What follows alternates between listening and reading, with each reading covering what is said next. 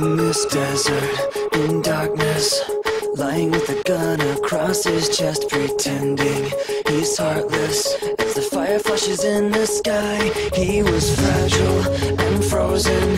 When the bullet took away his friend But now he's somehow more broken. He's born